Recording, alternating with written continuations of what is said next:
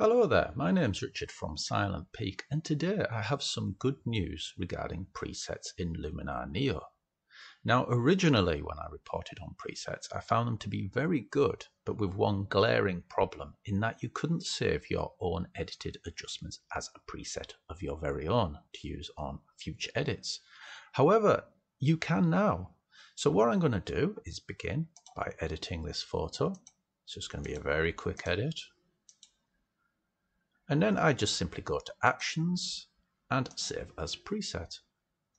I can mark my preset as a favorite and I can give it a name of my choice. So I'm going to call it Richard. Now, the next time I go to edit a photo, I can go into presets and look, I've got my favorites here. Of course, I can choose any preset I like. But if I click on favorites, these are my favorite presets, including two that I've made. I can click on Richard and then that will apply the changes applicable to that particular preset.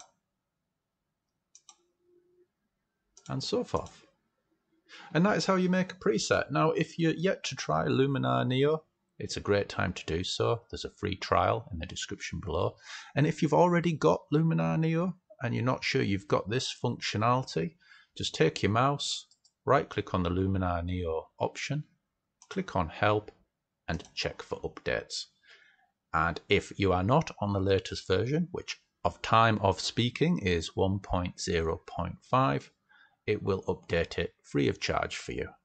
And you might as well, but it does take about 15 minutes. So if you're in a rush to edit a photo, do your edit first. Hope that was helpful. I'm Richard from Silent Peak, wishing you a very good day. Bye bye.